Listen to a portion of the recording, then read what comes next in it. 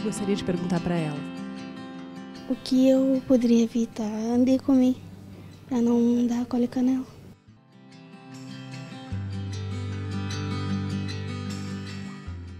As cólicas são comuns do primeiro ao terceiro mês de vida do bebê, porque o organismo do bebê está sofrendo uma série de adaptações para receber esse novo alimento. De regra geral, a alimentação da mãe não, não necessita ser mudada durante a amamentação. Não tem, não tem influência de regra geral, né?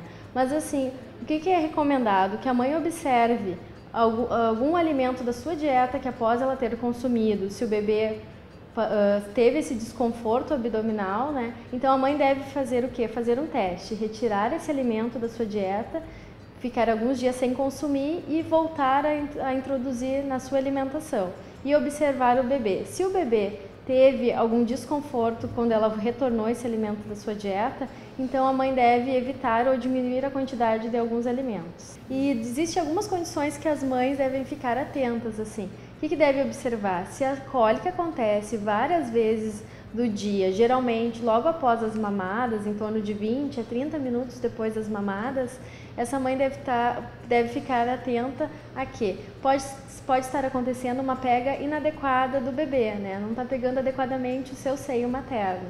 Outro motivo pode ser intervalos de mamadas muito curta, então assim o bebê não está sugando, não está conseguindo esvaziar a mama adequadamente. A mulher que amamenta ela deve ingerir bastante água, né? É, que são os líquidos. O mais recomendado seria a água pura mesmo, né? Evitando o quê? Evitando os alimentos processados e ultraprocessados nesse período. Fazendo que com que a sua alimentação seja o mais saudável possível. Então, a base de frutas, verduras, legumes, né? produtos mais naturais, produtos integrais, fazendo com que tenha uma alimentação adequada, que os hábitos alimentares da mãe e da família também vão influenciar futuramente quando esse bebê vier a introduzir a alimentação complementar.